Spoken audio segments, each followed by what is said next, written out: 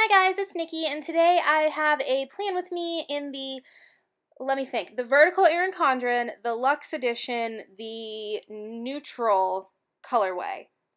Goodness. Okay. Um, so I thought I would do something a little bit different, and if you guys like this, I will continue to do it. This kit is going to be released tomorrow. This is part of the new releases, but I thought it would be cool if I did a plan with me on one of the new release kits the day before and uploaded it. So if you guys like that idea, let me know, and I definitely will continue to do it.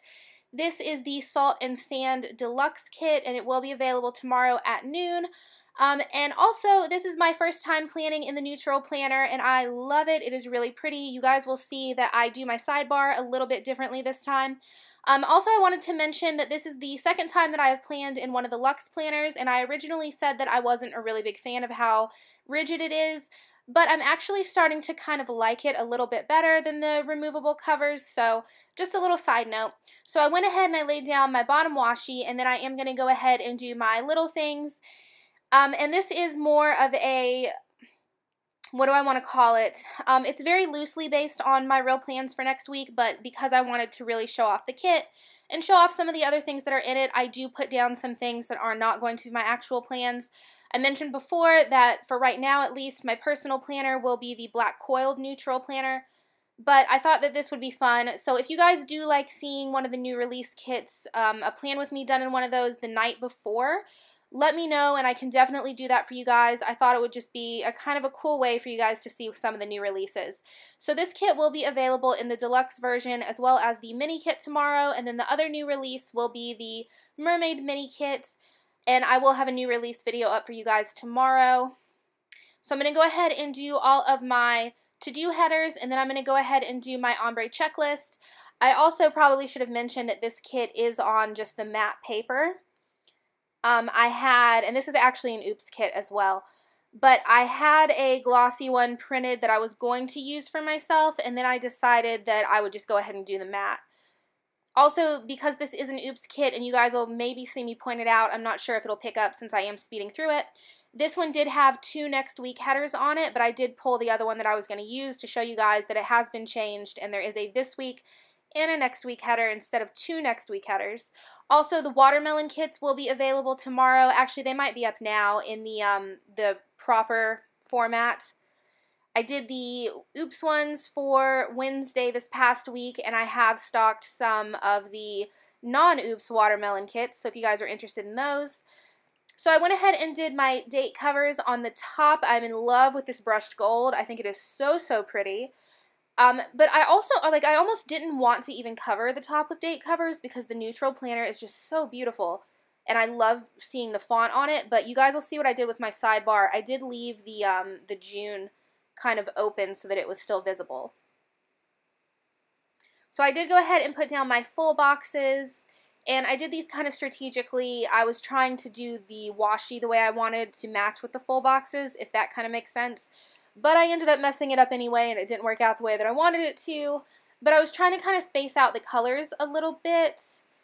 Um, this is a very blue kit. That's why I ended up doing the gold with it. I thought it was really pretty. Um, and it is like a metallic like almost brushed metal gold, but it's very, very pretty. You guys will be able to see it up close in the new release video. Super excited about this kit. I actually made this kit because we were going to be going to the beach next week and I wanted to do like a beachy spread, but it turns out we're actually not going. Um, so the shop will not be closing. I had originally said that we would probably be closing at least for a couple of days while we were gone, but that's not happening now. Um, and next week is going to be a super, super intense work week for me. I'm going to try my best to have like four new deluxe kits um, listed on Friday. And actually a couple of them will be reformats and then a couple will be brand new kits, but I'm going to try really hard to get all of those stocked in time. I don't know if I'm going to be able to do it, but I'm going to try. Um, I was looking the other day, and the shop is so empty where everything is sold out or the reformats like have sold out.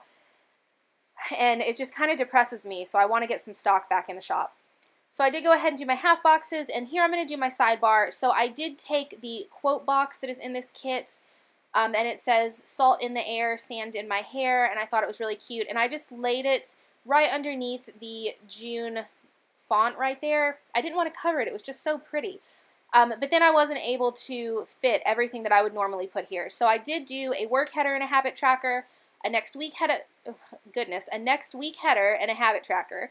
And then I just did one of the baby habit trackers and then a piece of washi down at the bottom. Normally I would put an ombre checklist over on my sidebar and I'm not too sure how well that's going to work for me in my actual personal planner. I may actually have to cover up some of that June area, but that's okay. So now I'm just going to go in, I'm going to stick down some flags, I'm going to put my bill due on Monday, I'm going to do a to go on Tuesday, a to buy on Thursday, and then I'm going to take a couple of appointment labels, and then I'm going to also do some of these script icons. So I have a happy meal on Tuesday, I ended up doing, let me think, a me time on Monday, a movie night on Friday, a workout on Sunday, and a relax on Thursday.